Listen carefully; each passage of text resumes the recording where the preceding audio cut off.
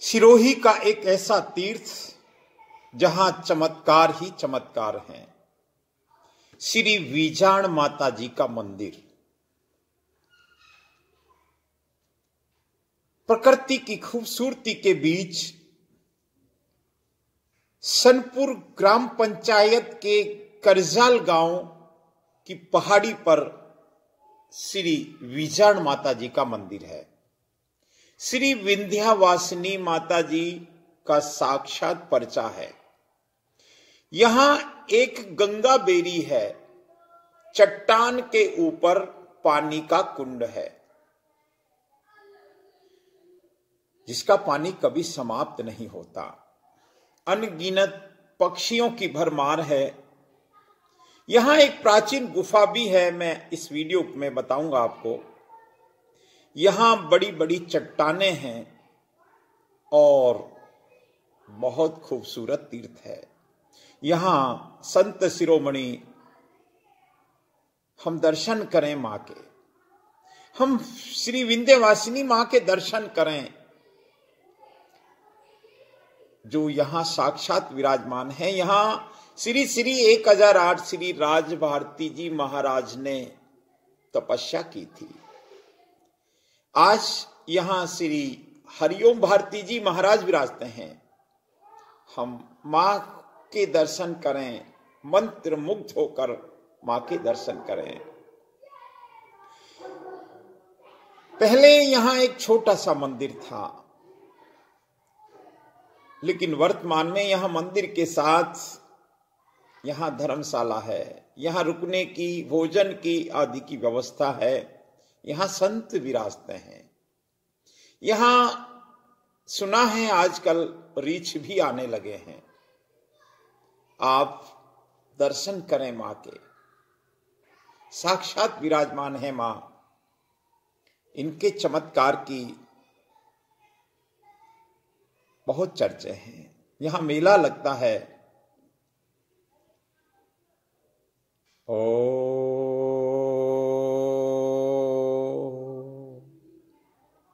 शक्ति रूपेण संस्थिता, नमस्तस्य नमस्तस्य नमस्तस्य नमो शक्ति के बिना शिव की कल्पना नहीं की जा सकती। ये माता जी वो हैं, कहते हैं हज़ारों साल पहले इस पहाड़ी पर कोई संत आए थे। राखोड़िया महाराज के नाम से एक संत आए थे। प्यास लगी उनको, पानी किसी पशुपालक से मांगा होगा, पानी नहीं पिलाया। प्यास से बेहाल हो गए।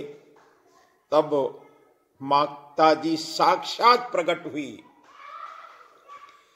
पूछा, क्या चाहिए आपको? उन्होंने कहा, माता, मुझे प्यास लगी है। उन्होंने अपना त्रिशूल चट्टान के ऊपर मारा और चट्टान में एक अक्षय गंगा गंगा बेरी निकल पड़ी। आप देखेंगे उस गंगा बेरी को तो सच में चमत्कार का दूसरा नाम है। ये श्री विजाण माता का महातीर्थ। राखोड़िया महाराज जी ने कहा कि माता जी मुझे भजन करना है इस पहाड़ी पर। उन्होंने कहा, नहीं पास में एक पहाड़ी है वहाँ पे आप जाइए भजन कीजिए। और भजन में लीन हो गए। माँ की शरणागति हो गए। ये श्री विचाण माता जी का मंदिर है। इस ये ये आप देखें श्री राखोड़िया महाराज के नाम से एक संत आए थे जिनके बारे में इन्हीं को जब प्यास लगी माता जी ने एक स्थायी अक्षय जल की व्यवस्था कर दी, गंगा बेरी की व्यवस्था कर दी। माँ को कोई सच्चे भाव से पुकारता है तो माँ प्रकट हो जाती है। परमात्मा प्रकट हो जाते हैं। ये तीर्थों की भूमि है, ये अर्बुद प्रदेश है, ये आबू राज है। यहाँ अनगिनत तीर्थ हैं, जहाँ अनेक अनेक रूपों में परमात्मा के हमको दर्शन होते हैं। मैं राजेंद्र नरू का। जीव से शिव तक यात्रा। देव नगरी के देव दर्शन एक अनंत की यात्रा के तहत मैं इस तीर्थ पर पहुँचा। चारों तरफ़ हरियाली, कोई तिनका भी नहीं काटता। चारों तरफ़ माइनिंग की भरमार है। लेकिन माँ का प्रताप है। माँ के चमत्कार हैं। और इस संसार में चमत्कार को ही नमस्कार होता है साहब। इस पूरी पहाड़ी के ऊपर पानी की व्यवस्था है जंगली जानवरों की भरमार है यहाँ मोर आदि भरमार है। उनके लिए दाना पानी की व्यवस्था संत शिरोमणि श्री श्री एक हज़ार आठ श्री राज भारती जी महाराज स्थायी व्यवस्था करते हैं।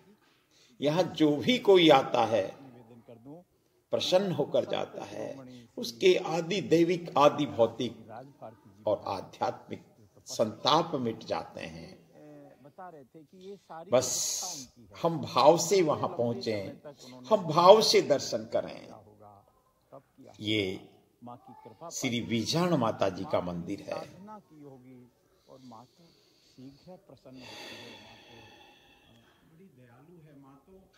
श्री विजान माता जी के इस मंदिर की। बस, हम यहाँ पहुँचे एक बार। आप सच मानिए, आपको एहसास होगा, इस आध्यात्मिक ऊर्जा का आपको एहसास होगा, परमात्मा की कृपा का। आपको एहसास होगा कि आप कौन हैं, आपका मकसद क्या है आप ईश्वर के अंश हैं। और आपका मकसद ईश्वर प्राप्ति है।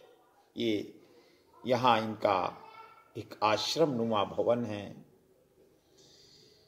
यहाँ विराजते हैं संत। ये श्री हरिओम भारती जी महाराज हैं। बड़े सरल हृदय हैं। शांत प्रकृति के हैं।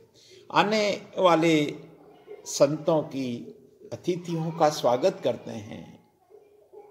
और ये देखिए आप गंगा बेरी। ये चट्टान के ऊपर है सज्जनों। ये संत श्री गंगा भारती जी महाराज ने बाल्टी में इस गंगा जल को निकाला। और जब इसका पान किया तो कोई शब्द नहीं है।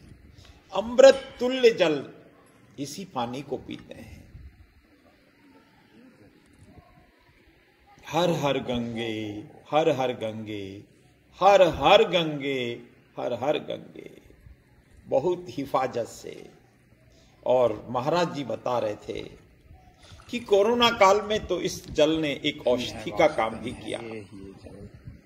हर हर गंगे।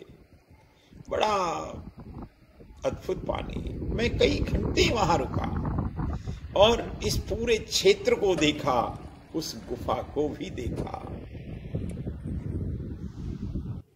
ये अब हम एक उस प्राचीन गुफा को देख रहे हैं जहाँ माता जी का ये साधुओं ने ये ये देखिए, ये गुफा है और इस गुफा में हम प्रवेश कर रहे हैं। ये बाजू में ये कुछ भोजन आदि बनाने के साधन हैं। ज़रूर किसी साधु ने यहाँ तप किया होगा। आज भी अलोप साधु यहाँ विराजते होंगे। ये धूणा है इस गुफा में। और श्री हरिओम भारती जी महाराज ने बड़े आत्मीयता से दर्शन करवाए।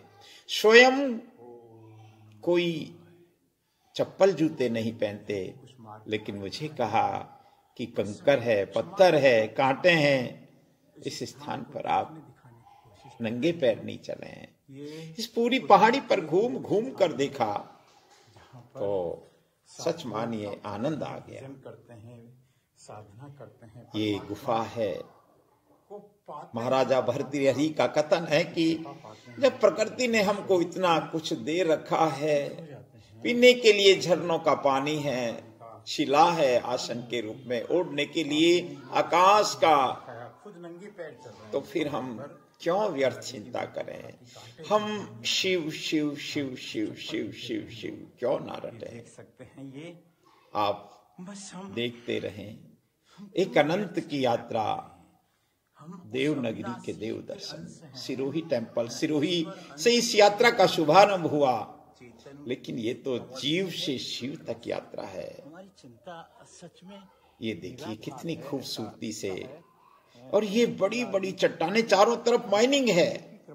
चारों तरफ़ समझिए कि धरती सोना उगलती है। और जय महादेव जय श्री विषाण माता जी की जय विंध्यवासी।